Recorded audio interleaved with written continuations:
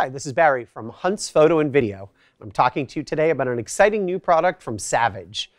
You're probably familiar with Savage from their backdrop stands and their strobe lighting and their microphones. Um, today I'm talking about their new LED video light. Um, there's a lot of unique features on this light, the first of which is it uses chip on-board technology.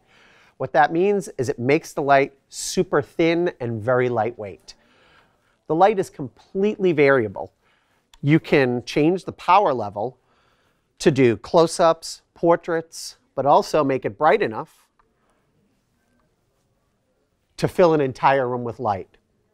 Along with changing your power levels, you can also vary the color temperature from 3200K to 5600K.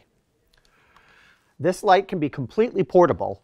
It's battery operated the included battery is a Sony style battery that's 4400 milliamps. That's going to give you two hours of running time at full power.